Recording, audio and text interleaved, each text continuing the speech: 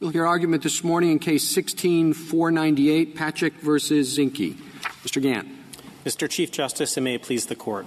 Section 2B of the Gun Lake Act is unconstitutional because it is incompatible with several well-established strands of this Court's separation of powers jurisprudence, as well as with Article 3 itself. With Section 2B, Congress directed the federal courts to dismiss a pending case otherwise properly before the courts. As a consequence of that directive to dismiss, with respect to Mr. Patchak's case, the courts were prevented from performing their constitutionally assigned responsibilities to decide cases before them and to say what the law is in the context of deciding those cases. Section 2B is precisely the kind of legislative review of judicial decisions that the framers rejected when they designed the Constitution. And all of Mr. Gant, when, when you say directed that a case shall be dismissed, are you referring only to the last few words of um, uh, this statute, or are you referring more broadly? I'm referring to the uh, to the, the last the words that refer to dismissal itself. Right, and, and shall be promptly dismissed. Yes, and then are, you suggesting that if those five words were not in the statute, that uh, the case would come out differently? I, I am not suggesting that. I think it would still have come out differently. For example, if you dropped the re- reference to dismissal but left maintained, the result would be the same. The same would be true if there had been a removal of judicial review. In other words, if two, if the, if the statute had contained just 2A but not 2B, same result. No, that, I understand that to be a different question from Justice Kagan's. If uh, 2A were, were the only part of the statute. We had no 2B, 2C is not an issue here. So if we had 2A only, we wouldn't be here arguing that there was a separation of powers violation. Part of the problem here. But, but if you had 2B that finished just shall not be filed or maintained in a federal court, full stop, you're saying that would be the same statute as the one we actually have. It, it, it would still be unconstitutional. Yeah. It, now, uh, the, the, the omission of the shall be dismissed language is not without significance. And if I may, I'd like to e- explain. Um, the direction to dismiss is a quintessential judicial function.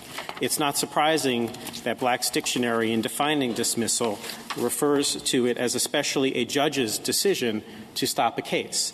Uh, that's well, what do you do with the McCardle case?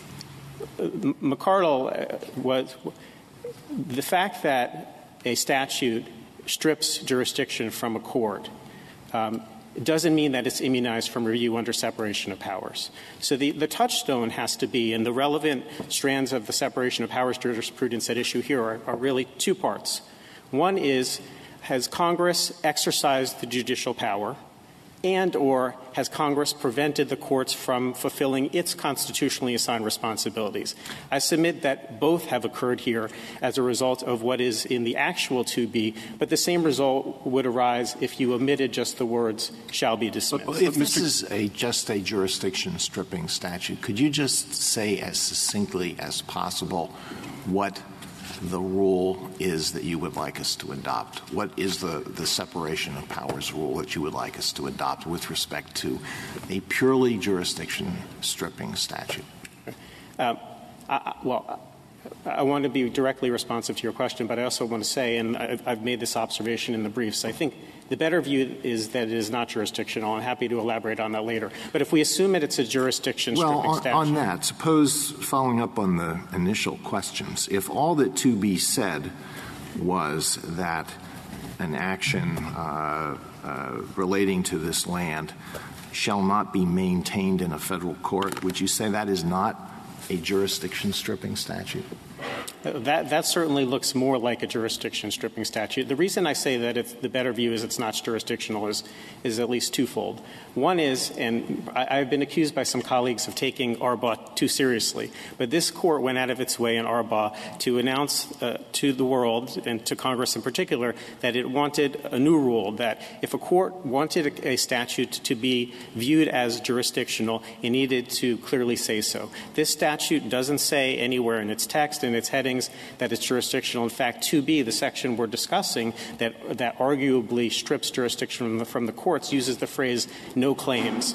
Uh, my research may have been faulty, but I couldn't find a single case using that language in framing a jurisdictional statute. Well, if one of the things that 2B does is to strip jurisdiction, and if uh, shall not uh, shall not be maintained is a jurisdiction stripping provision, then I don't see how you can win uh, unless you have a rule that applies to a jurisdiction stripping statute. Maybe there are other things in this statute that are vulnerable, so they could be severed. So, to go back to the question I asked, if this is a statute that uh, takes away federal court jurisdiction, what is your separation of powers rule? The rule, the rule I submit uh, the court should adopt is if a statute is deemed as properly uh, is properly construed as a jurisdiction statute, it is still subject to separation of powers analysis. That, that, that much is clear from Klein. However, whatever else about the case might be puzzling, Klein clearly establishes that the mere fact that Congress affixes the label jurisdiction to a statute doesn't immunize it. So then we return to our touchstone principles here has, through this jurisdiction statute, Congress exercised the judicial power uh, and or has it prevented the courts from fulfilling their constitutionally assigned yeah, but when, wait, as succinctly as you can, Congress uh, it, it violates the separation of powers when it deprives the federal courts of jurisdiction in this circumstance. And what is the circumstance? The circumstance is when it is directly, overtly deciding a case or effectively deciding a case rather than making new law and leaving it to the courts well, to apply the new law. Which is not fictional. Suppose Congress enacts a statute that says federal courts shall not have jurisdiction over cases involving prayer in school. Constitutional? Uh, I think that raises um, serious but, but somewhat different questions. Part of what's offensive here to the separation of powers principles is that Congress is directing the outcome in a case. It could be a set of cases, and I submit, by the way, look, looking to Bank Markazi, if there had been a thousand cases just like Patchak's, I think the outcome would be the same.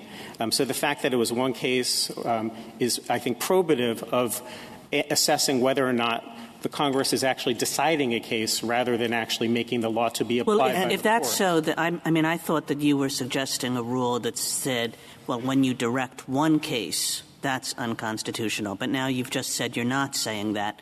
So again, coming back to Justice Alito's question, I mean, we know that Congress can alter the jurisdiction of the federal courts, and we know that Congress can alter that jurisdiction uh, and apply it to pending cases. We've said that over and over again. So what makes th- what would make this unconstitutional if we assume that this is a jurisdiction stripping statute? Because uh, what Congress has done is affect directly here, but it could be indirectly, dictated the outcome of a case without changing the law. So, Mr. Gannon, it's that well, last the law clause. is the jurisdictional law. That's what Congress is changing. Congress is changing jurisdiction. In so doing, Congress is changing the law. We haven't said Congress has to change, you know, substantive law. Here, Congress is changing jurisdictional law. It's saying, you know, yesterday you had jurisdiction over a certain category of cases. Today you don't. Now, why is that unconstitutional, or when is that unconstitutional? That is unconstitutional when, the, under the guise of, cha- of changing the rules with respect to jurisdiction, the court is effectively deciding the case and then not letting the courts apply the new law either. So both things have occurred here. So in Bank Markazi and in Robertson, the reason why those survived separation of powers scrutiny was because they changed the law and they left the, to the courts to apply to new cases. You have the exact opposite here. So, Mr. Gannon, if I understand it, the answer to the question, I think, is that last clause, the dismiss, ordering the courts to dismiss the claim. That up to that point, uh, shall not be filed or maintained. If that's jurisdictional, as I understand you and your amici, you're okay with that. It's the directing the dismissal. But if, if, that, if that's the only beef we have, is that really a beef at all? Because that's the natural consequence of a jurisdiction stripping statute, as McCardle itself, as Justice Ginsburg pointed out. Right? So there's nothing left. I think it's almost a virtual quote from McCardle. Right? There's nothing left to be done but dismiss. So where's the real beef here? Justice Gorsuch, I think what the, collectively what the court's cases instruct us is that we shouldn't stop the inquiry at the label We know that from Klein. We know that from other cases. So um, this case isn't framed as jurisdictional. But if, if we assume that. Assume, assuming it's jurisdictional and all you're left with is this complaint about the last clause, why should we care? We should care because uh, then what Congress is doing is it's, it's given carte blanche to dictate the outcome of cases just by affixing the label jurisdictional. I, I thought you, in your response to Justice Kagan, you said it wouldn't make any difference if those last words were omitted, shall be dismissed. Right. It, you, you would have the same objection. I would have the same objection. Let me be clear. There, with respect to pending cases, so the, the two words that are operative here with respect to pending cases are shall not be maintained and shall be dismissed. I'm not talking about the filed. So with respect to prospective cases, we're not arguing that Section 2B would be unconstitutional because it wouldn't implicate the, the strands of the separation of powers jurisprudence that I was discussing. So it's with respect to pending cases where both the shall not be may not be maintained and shall be dismissed are both I, I don't think that's the question, Mr. Gant. I think the question is, and this was what I started with, would you be making the same constitutional argument if the last five words were not there? And I took you to say, yes, you would be making the same constitutional argument, and in so doing, you separated yourself from your amici, because I understand your amici, as Justice Gorsuch does, as saying that everything hangs on that last five words, and you're suggesting that not everything hangs on that last five words, that you would have the exact same constitutional objections if those five words weren't in the picture. Do I have you right? Yes, I, I, think the fact that it includes the dismissal term is makes it particularly pernicious. So I would say that's additional pushing it even further like beyond bad atmospherics. Well, it, but it, but it's not just atmospherics, as I as I suggested earlier. I think there's an argument to be made that the direction from Congress to the courts to dismiss a case is telling the courts how to perform their duties in an impermissible way. Yes, but then you do get again, and I think that this is the underlying premise of Justice Gorsuch's question. So take out the last five words. And you were trying to explain why what then just seems a jurisdiction stripping statute is unconstitutional. In that, in, against the backdrop of very consistent precedent that we have that says that Congress can take away the jurisdiction of the federal courts and can do so in a way that affects pending cases. And, and so why and when is that unconstitutional? Because you have to pierce the label of jurisdiction and return to the basic principles, which are is Congress exercising judicial functions, or is it preventing the judiciary from carrying out its actions? It seems that we've, we've been replicating what, among lawyers anyway, is the famous dialogue between Professors Wechsler and Hart about whether Congress can achieve unconstitutional objectives by preventing federal courts from adjudicating claims that those um, uh, provisions are unconstitutional you know, during the civil rights era, there were a lot of proposals in Congress that said uh, the federal courts have no jurisdiction over any case in which busing uh, is sought as a remedy. Uh, and those types of proposals are uh, consistently uh, uh, submitted whenever Uh, uh, Congress attempts to achieve an unconstitutional result by depriving the federal courts uh, of jurisdiction. So I would have thought your answer is is I would have thought you would have taken the position that I understand to be ascribed to Professor Hart in the dialogue, which is that that is an indirect way of achieving an unconstitutional result and is subject to the same objection. Th- that, that is my position. And I, Counselor, um, can, I, I want to switch from personal jurisdiction to sovereign immunity, in part for the reasons that the Chief, is, Chief Justice is talking about, okay? Yes. In Patchak 1, I took the position that the court got sovereign immunity wrong. And basically, I argued, the majority disagreed, that, um, that the Quiet Title Act uh, really granted immunity. And um, the majority disagreed and said this had to do with APA um, waiver of immunity. I look at statutory history, and this new act um, the Reaffirmation Act was in the context of that dispute in that case. And what Congress did was settle the question, which I believe it's entitled to do and is not unconstitutional. It ratified the acts of the Secretary's taking of this land. And by that act, implicated the Quiet Title Act. And so if it did that, I see this, and I, I don't understand why it's not, that waiver of sovereign immunity that the court did not recognize in Patchak 1. And I raise this for two reasons. One, I do think there's a difference between the Congress coming in between two private parties and directing a result in favor of one private party.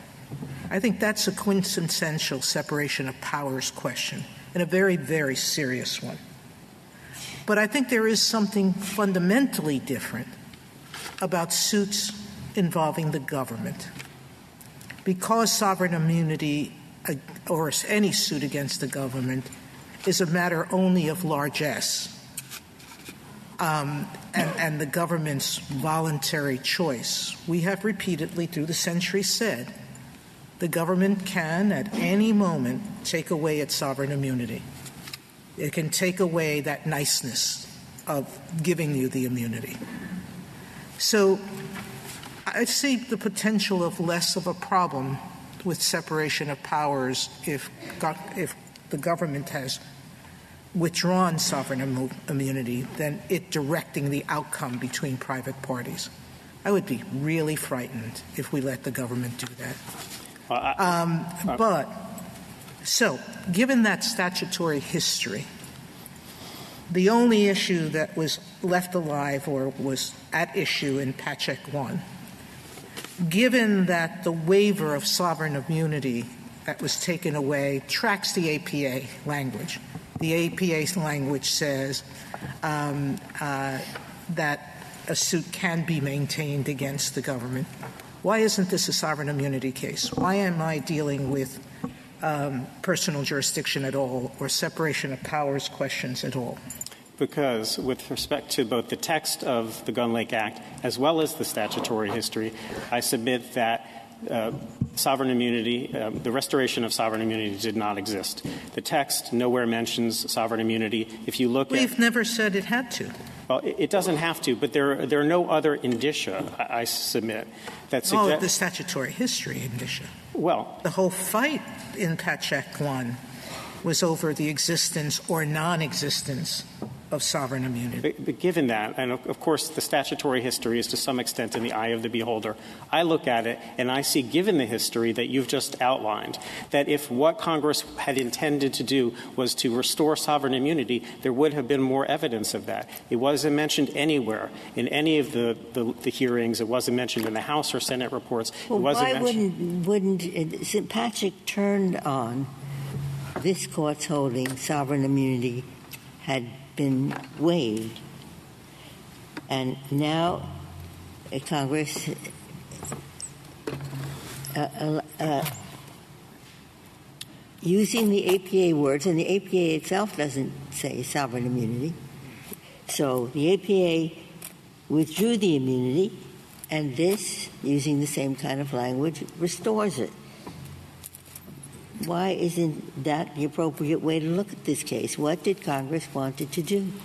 The, we said sovereign immunity is waived. They said sovereign immunity is not waived. I take Congress at its word in what it intended to do, and the D.C. Circuit has said the same, which is to void the case, to make it go away, to direct dismissal uh, against Patchak and for Zinke. That's what that's what the statute says. That's how the D.C. Circuit, I think, properly understood it.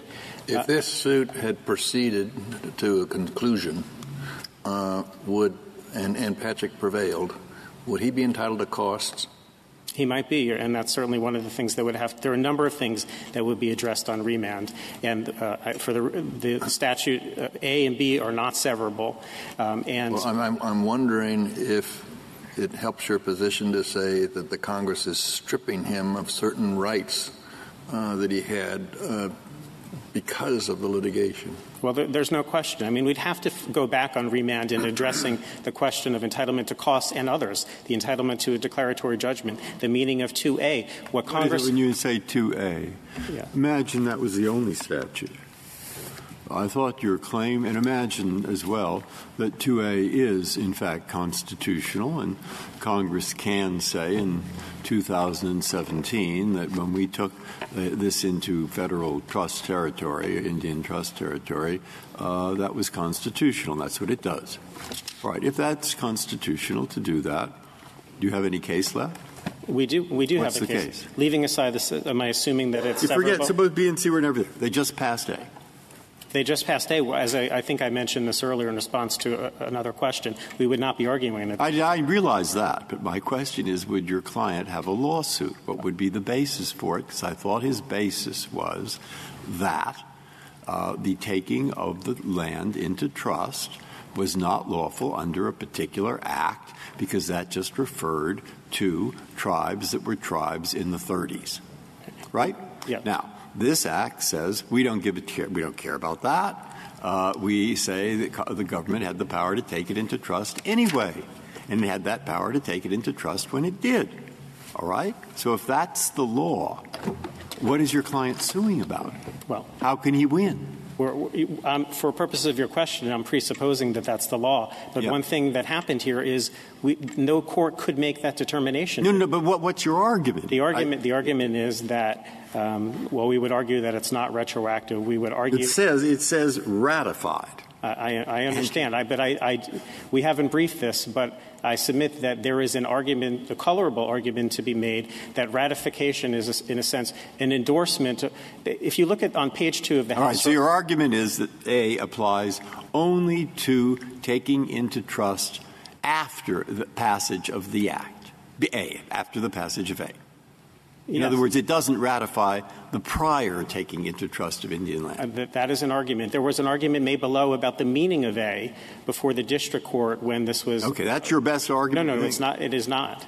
Um, there was an argument made below that the the ratification talks about taking the land into trust, but that doesn't mean that it authorizes all uses of the property. So there's a distinction between the land Okay, being okay, into okay, trust, okay. and, and there there are there are it, other, it. there are, there Mr. others. Gant, could I, I'm sorry to drag you around like this, but the Chief Justice asked you a question, and um, you indicated that you agreed with his understanding of when a jurisdictional statute uh, violated the Constitution, and, and then you were interrupted. I just want to hear a little bit more about what you think of his question. Sure. Um, I hope I have it firmly in mind. And I, at the same time, I want to try and answer your, some of your prior questions and the question. There's also Well, the I'm interested in that Act. question, Well, okay. the, the Chief Justice's question, because he gave you a theory, you said yes. Okay. But what does that mean, yes? Yes, why? Um, what Congress um, cannot do is direct the outcomes of a case, even under the guise of jurisdiction. Let's go back to the Smith wins hypothetical from Bank Markazi. But I, I If- thought the if- Chief Justice's examples were instances in which a hypothetical statute deprived the federal court of the opportunity to rule on violations of uh, on constitu- alleged constitutional violations. The same as the question that Justice Ginsburg uh, gave to you, taking away jurisdiction over cases involving prayer in the schools or jurisdiction over equal protection violations. But this is a statutory case. It is, although it has, it's because there were, the court in Patchak 1 addressed standing and sovereign immunity, which at least have constitutional dimensions. But there's no doubt about the fact that the underlying claims at issue in the pending complaint that's still operative are statutory in nature. The only thing I Just think. that why don't you bring your case in state court? It doesn't say the state court doesn't have a... I mean, you know, bring it in state court. Uh, I would have to think about whether we could do that. Well, How can the tribe uh, i- i- i- be sued in state court? Yeah, general And the federal government uh, be sued in state You can, court? s- yeah. I'm asking you. I don't want to get in the way of a good discussion. Um, But I suppose- honestly don't know the- I don't know the question answer to is- that. I mean, just as in a case of the, the anti-busing cases, there's a constitutional violation that Congress is trying to insulate from review, and that's the separation of powers clause. And I took your question to be that these were, not that these were identical situations, this case and the, and the situations that Mr. Chief Justice posited, but that they were close cousins. And to go back to a question, to try and more directly answer your question, Justice Gorsuch, um, and I want to do save a few moments for rebuttal. Um, uh, if the, a statute said, um, we think Smith should win, and therefore we, we determine that the courts shall not have jurisdiction. That can't, the fact that it says it's jurisdictional cannot possibly save it from a separation of powers scrutiny and analysis. And this is substantially similar to that situation. So why, why is it substantially similar to that situation? That makes it sound like it's because it's about a single case. But you said that that wasn't your theory. So what is your theory? Right, we could change it to, to 10 Smiths win, or in every case of Smith v. Jones. It's not the number. It's the fact that Congress is directing the outcome, and it's saying that you win not because we've changed the law, um, and notwithstanding old law, because we know two things about but doesn't Congress always do that when it strips the federal courts of jurisdiction over a category of cases? No. Because we have said that that applies to pending suits. So I guess the question is, why aren't you saying that every time we said that, we were wrong? That any time Congress changes the jurisdiction of the federal court and it applies Um, to pending cases, that that's a separation of powers issue. Because Schor and the other uh, separation of powers cases of this court counsel that we should take a functional practical look at the particulars of the case. And in this case, unlike these hypothetical statutes, you have Congress clearly directing the outcome of a case where under old law, this court held that his case may proceed. The House report at page two said under existing law, the putting the land into trust was likely unlawful. And the only thing that changed was Congress said this case goes away. I mean, it sounds like this is just based on your, your analysis of Congress's intent. No, I, I mean, let's take a case that we, we had earlier this term. They under the Alien Tort Statute. I don't know whether you're familiar with it, but it provides jurisdiction in the federal courts for a suit by an alien uh, concerning certain torts. And we have the question whether uh, uh, a, a, corporation can be sued. Suppose Congress were to pass a statute that says that no federal court shall have jurisdiction of an alien tort statute suit where the defendant is a corporation. There are a limited number of cases involving that, pending cases. Would that be unconstitutional? We'd have to look at the particulars of the case and make a judgment based on the case whether Congress was directing the outcome of particular cases or was it functioning more in a legislative role. Well, it's certain. I'm sorry. Well, Your light's on. Um, well, I'm, I'm, here for you, but I would like to reserve. I would like to reserve a few moments for rebuttal, but I. But um, well, why don't you answer the ask and then answer the question, and we'll afford you time for rebuttal. Thank you, Mr. Chief Justice. Uh, I was just, just, following up on Justice Alito's because you you say di- directing the outcome of these cases, but any time Congress jurisdiction strips, and that applies to pending cases, it does direct the outcome of those cases. Once upon a time, those cases could proceed. Now they can't. So Congress is directing the outcome of those cases in some sense that we've consistently held to be perfectly fine. We might have been wrong in saying that's perfectly fine, but we've said it a lot of times. Right. And this may be an example of what the court has talked about in other contexts, where line drawing can be hard. Again, I'd step back and look at, ask the fundamental questions. Is, has the legislature overstepped its bounds, traversed the boundary between the legislative function and the judicial function in deciding how cases should be determined. Congress is entitled to try and affect the outcomes, but the process of how it does it very much matters. And this is about as an egregious circumstance as I can imagine of Congress actually dictating the outcome of a case by saying you shall must dismiss without changing the underlying law and leaving it to the courts to apply in future circumstances. Thank you, Mr. Chief Justice. Thank you, counsel. Ms. O'Connell. Mr. Chief Justice, and may it please the court. The United States took title to the Bradley property in 2009, but the tribe's operations on that land have been subject to great uncertainty ever since then, nevertheless. Part of that uncertainty stems from this court's decision in Patchak 1, which interpreted the laws enacted by Congress up to that point and concluded that the Quiet Title Act did not bar petitioners' challenge to the trust status of this land. The court acknowledged in Patchak 1 that barring claims like petitioners is within Congress's legislative power. Through the Gun Lake Act, Congress did a couple of things. It eliminated any doubt about the trust status of this land by ratifying and confirming the Secretary's action in 2005. And Congress also eliminated federal court jurisdiction over challenges to the trust status of this property, thereby revoking the waiver of sovereign immunity in the APA. Suppose that Patchak had relied uh, on his interpretation of the law and had built a facility on a neighboring property that was just completely inconsistent with a casino, so that he's uh, have some, some serious reliance interests.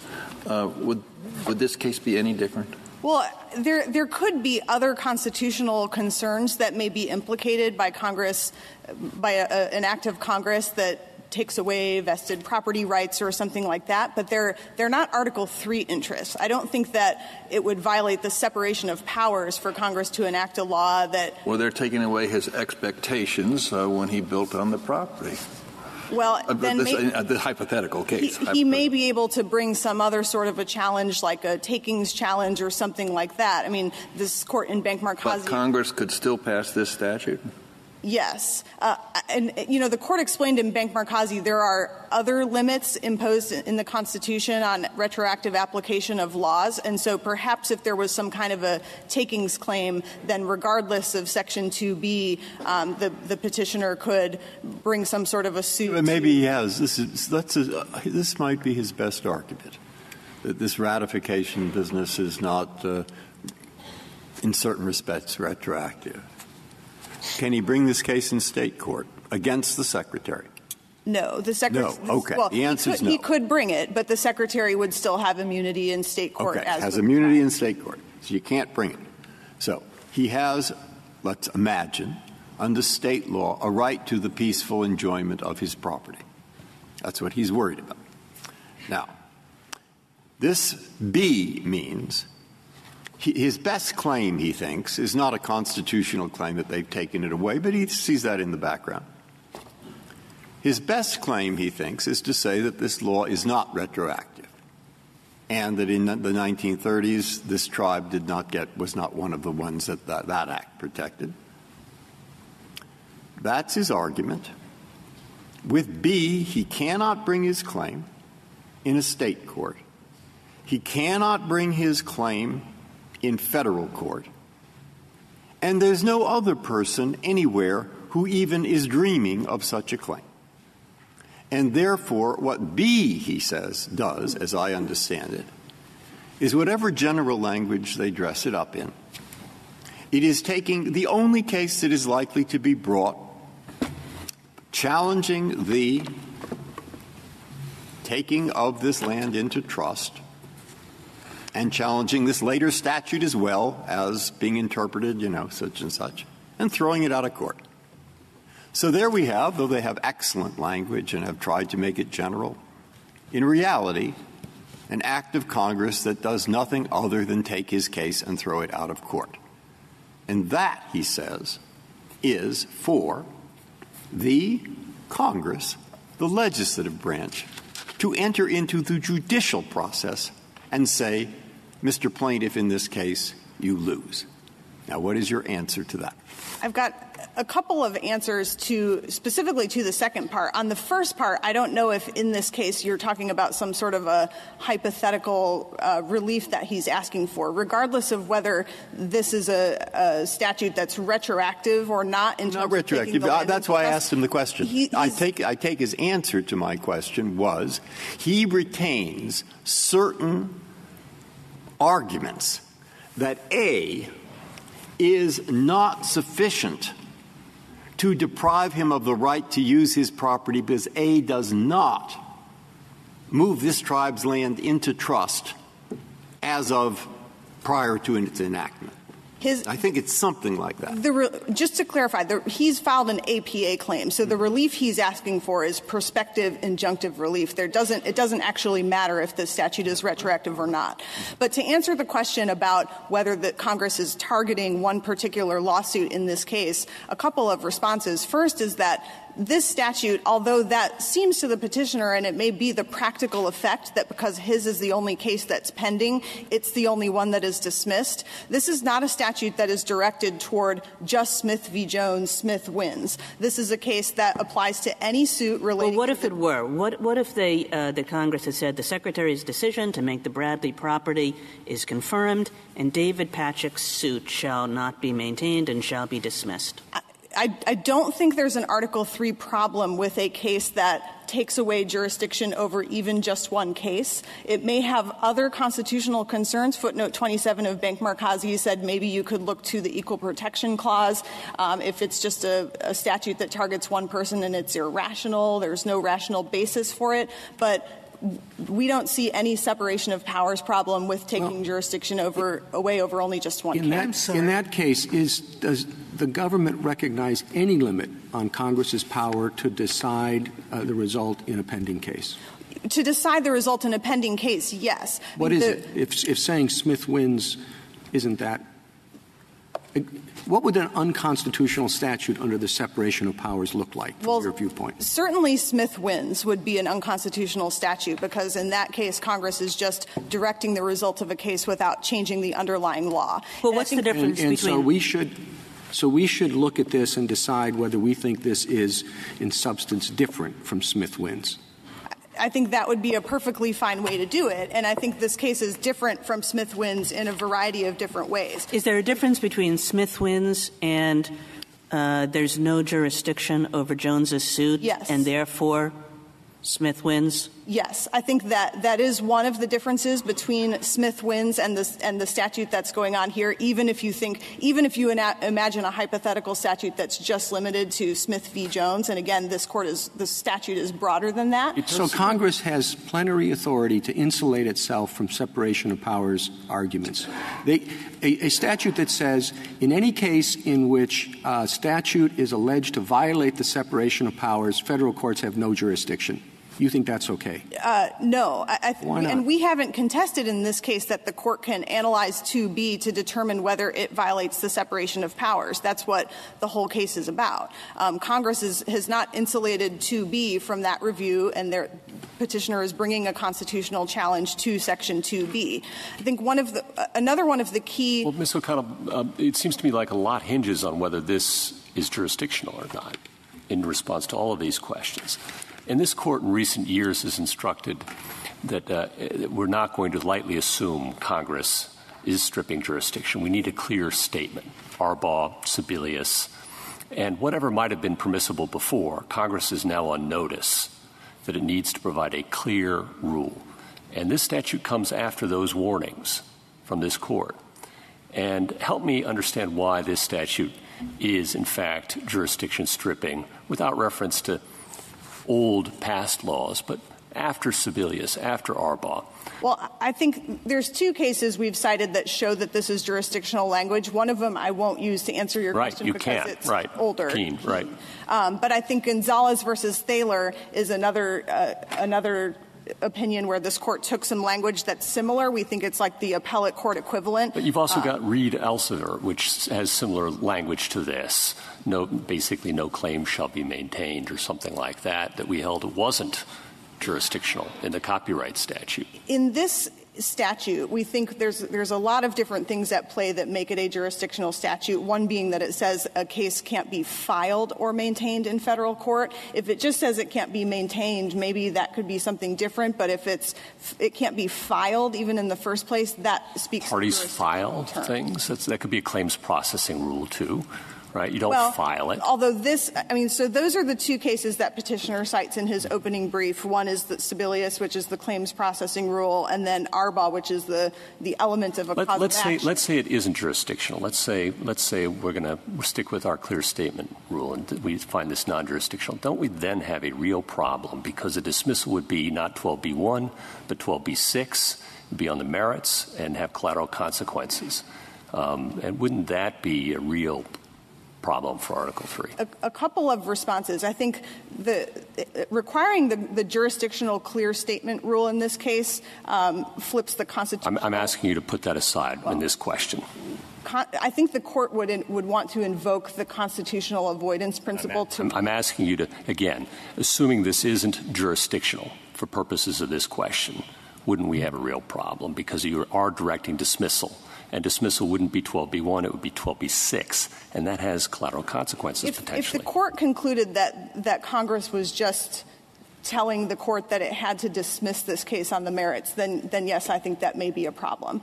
But it, even if the court doesn't think that, I mean, even if you don't use jurisdictional language or you think that the statute may not be taking away jurisdiction over a category of cases, which we think it is, I'd like to come back to the sovereign immunity point, um, which is that, you know, the APA provides the waiver of sovereign immunity, and that's the statute that the petitioner has sued under.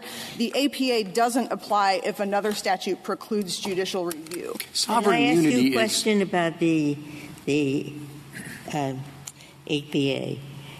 Um, the argument that has been raised on the other side is it doesn't you don't need sovereign immunity waiver because sovereign immunity doesn't protect a federal employee from a suit alleging that that employee acted in excess of statutory authority.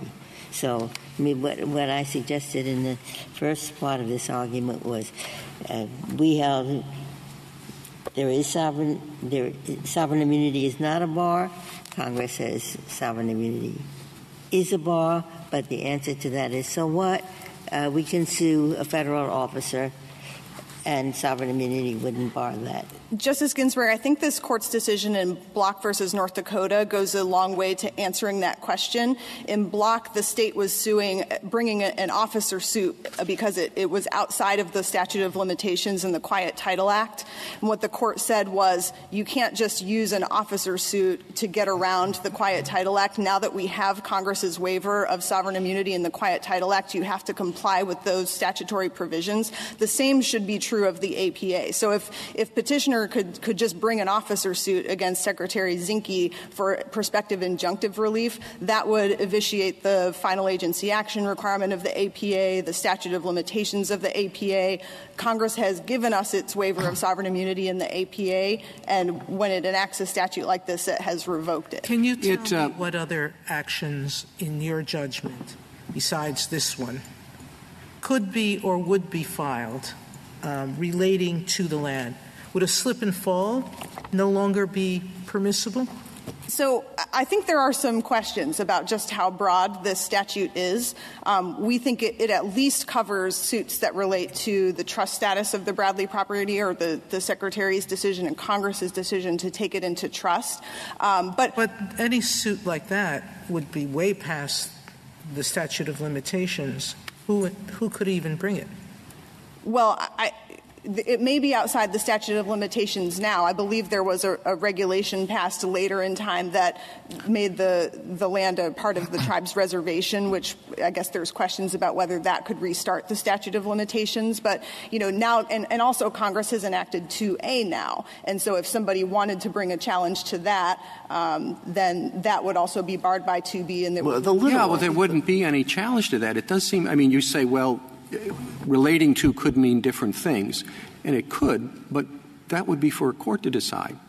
And it's not clear how they get to decide what relating means in light of 2B, which says if it does relate, it's dismissed automatically.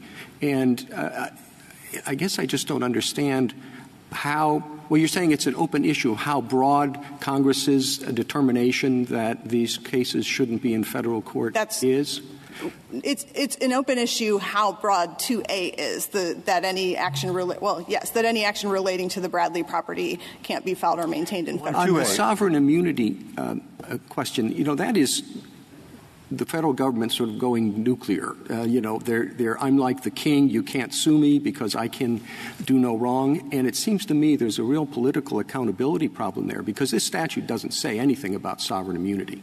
Even if the statute. And you didn't argue it even in the, the brief in opposition, if I'm remembering. Well, this is an argument that we, we presented to the Court of Appeals. The Court of Appeals said they didn't need to reach it because um, they decided that this was a jurisdiction stripping statute. Um, but, but even so, it's, it's really just another way of getting you to the point that the court lacks jurisdiction over the case, that Congress has changed the law, and it takes you outside the scope of Klein. Can you but, point to any case in which we've held there was sovereign immunity where the statute said nothing, never mentioned either immunity or the United States as a party. Well, I, again, I think that in this context, it doesn't matter if the statute is broader than just um, precluding claims against the United States because under the APA, what you're looking for in order to say that the APA doesn't apply is a statute that precludes judicial review. Well, how much broader is it? Uh, it's somewhat difficult to decide this case without having some idea what relating to here means.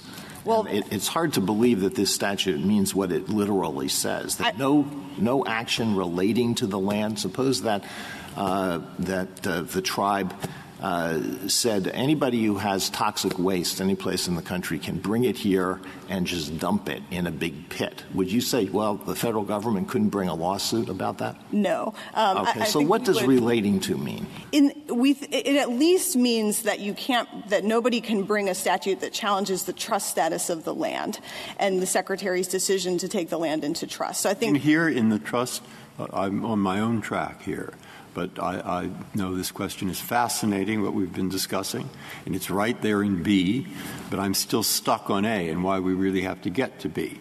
You said that all they've asked for is prospective relief. Correct. And as far as prospective relief, when this was passed in 2014, it certainly, in A, took the Indian land into trust.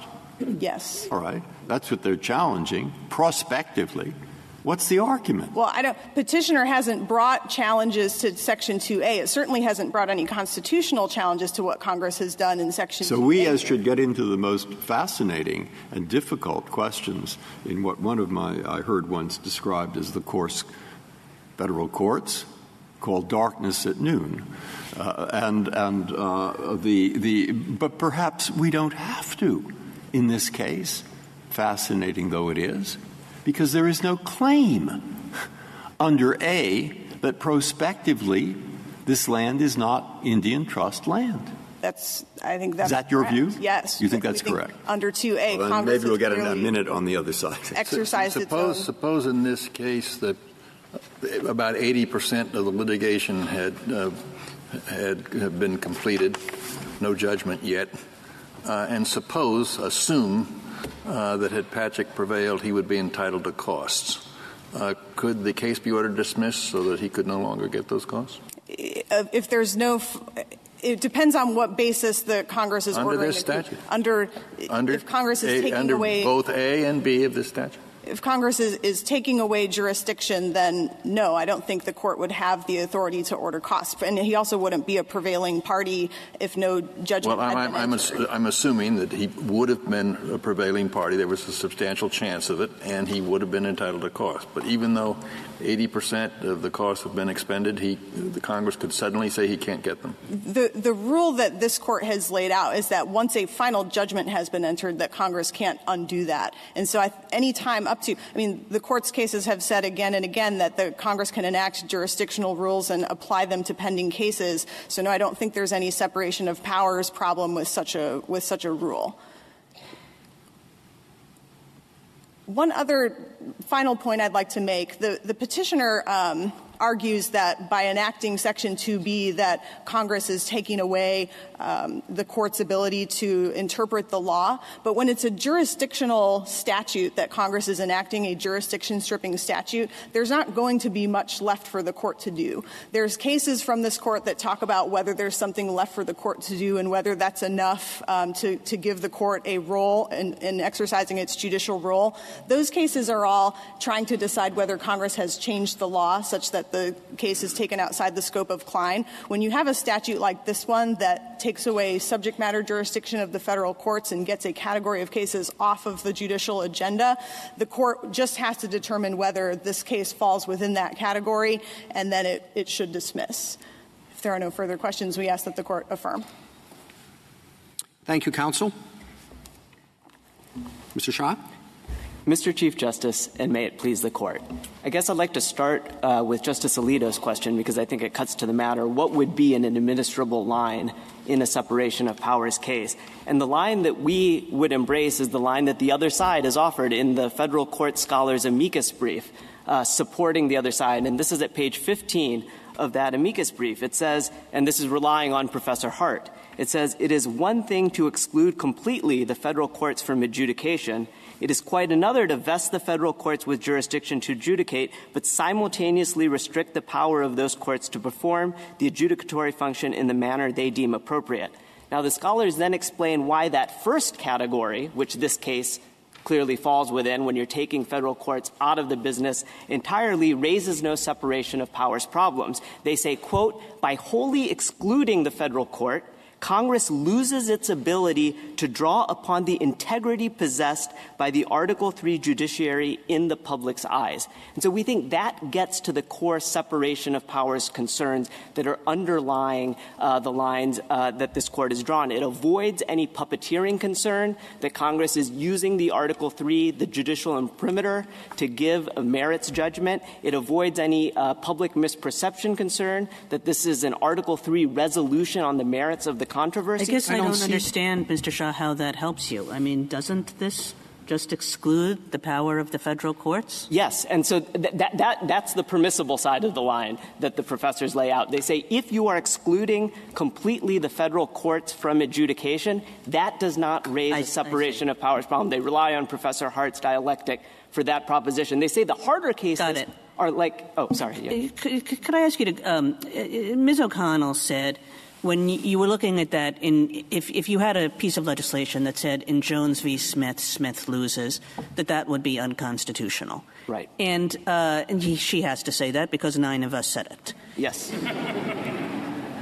So then the question is, why is it different? Sure. If Congress instead says, in Jones v. Smith, there shall be no jurisdiction, and Smith loses. Why, why is that different?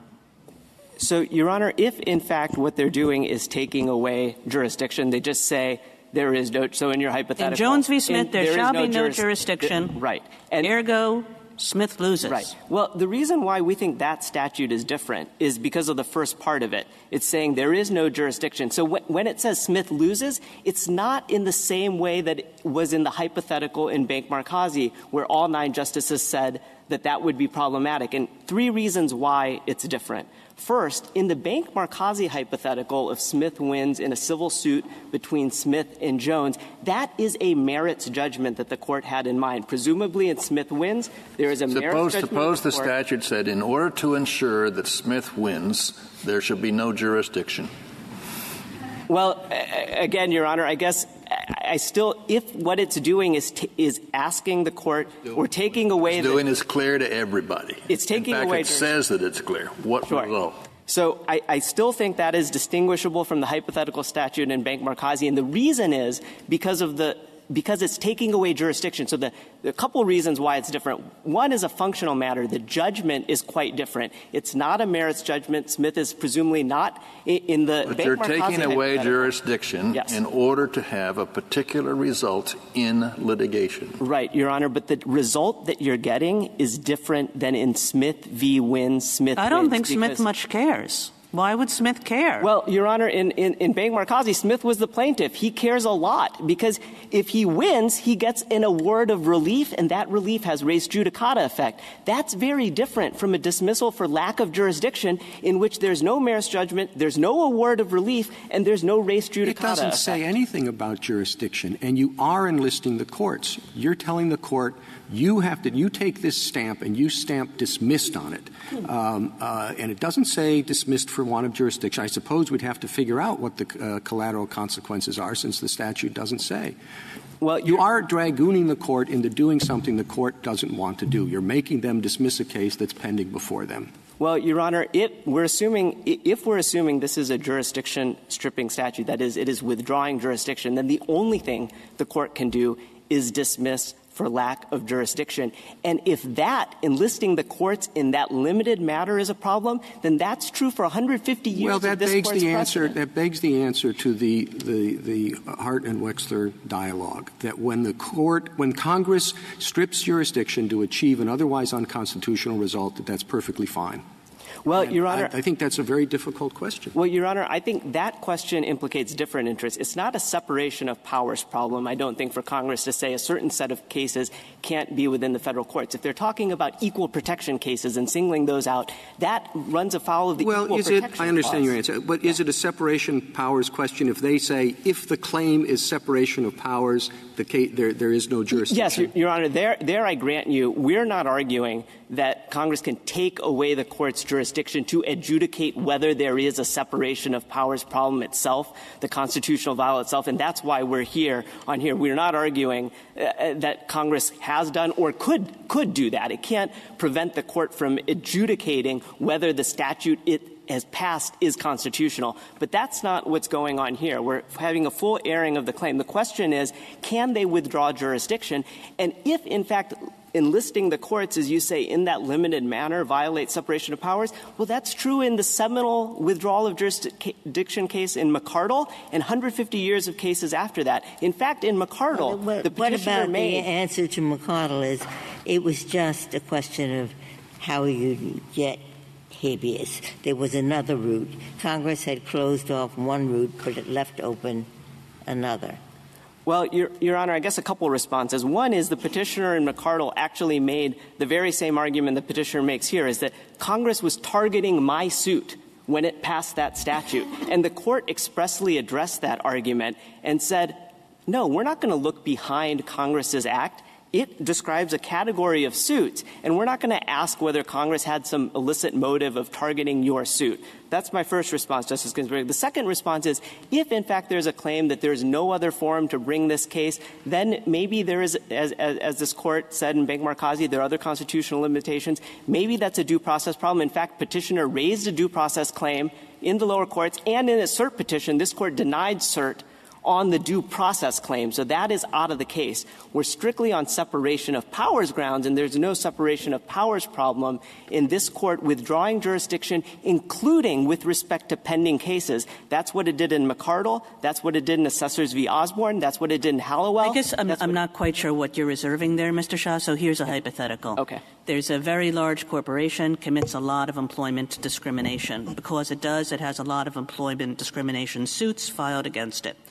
And so the CEO of this big corporation goes to Congress and says these suits are getting to be a real hassle, and so I'd like a piece of legislation. And Congress says, good enough, and it says there shall be no jurisdiction over any employment discrimination suits filed against that corporation. All right? And, and, and, and, and, and in so doing, it knocks out all these employment litigation, all these employment discrimination suits that have been filed against that corporation. Is that constitutional?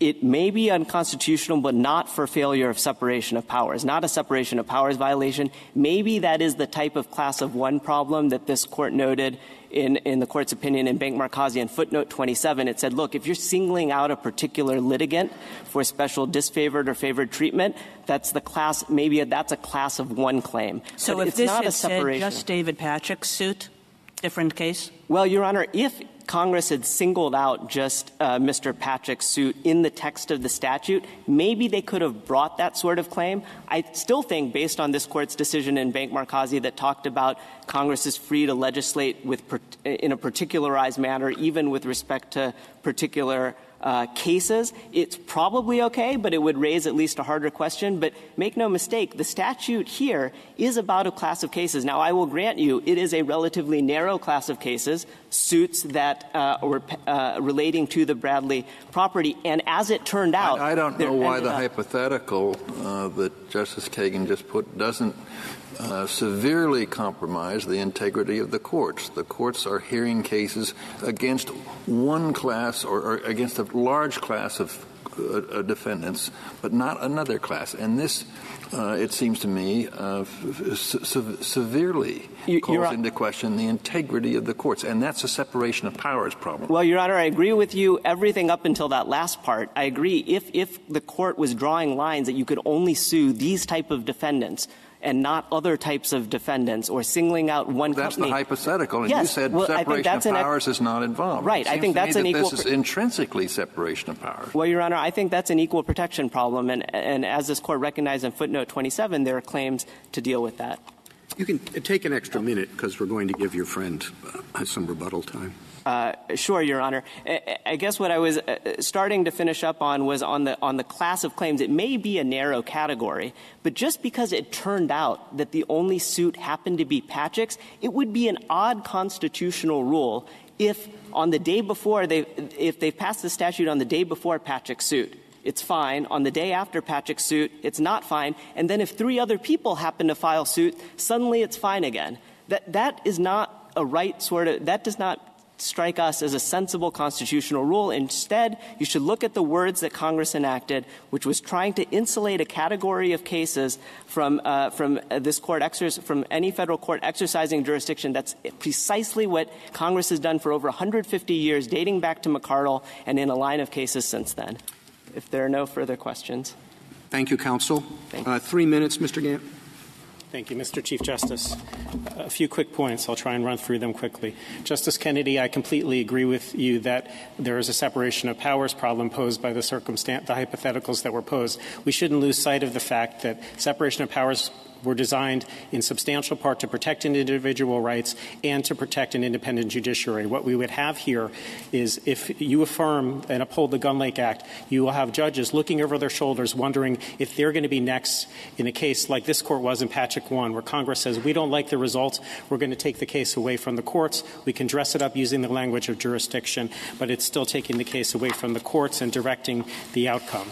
Now, on the point, the distinction that uh, counsel for the respondents were trying to drive home, that somehow a direction to dismiss in 2B is different because it's not merits.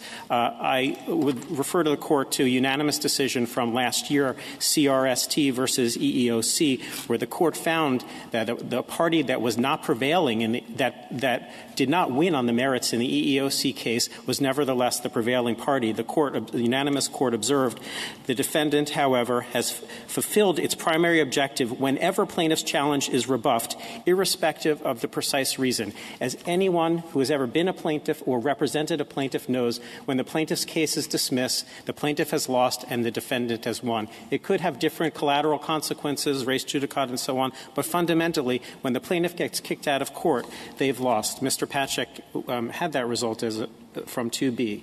Um, with respect to the relationship between 2A and 2B, 2A does one of two things here.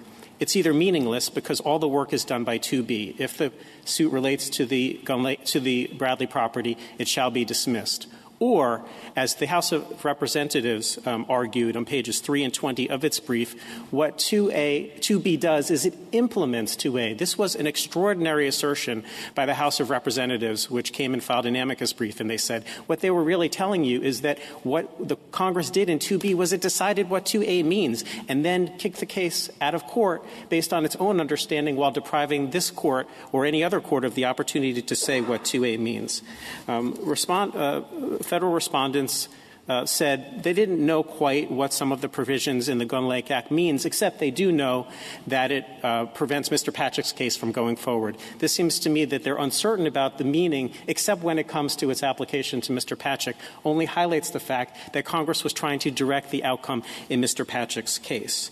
Um, uh, with respect to the hypotheticals that were posed to Mr. Shah by Justice Kagan and Kennedy, this case is no different, I think, than the hypotheticals you were posing. This is substantially like Smith wins. You can play around with the words. You can say, um, the, um, we want Smith to win, therefore there's no jurisdiction. I don't think anyone here believes that Congress should be able to do that.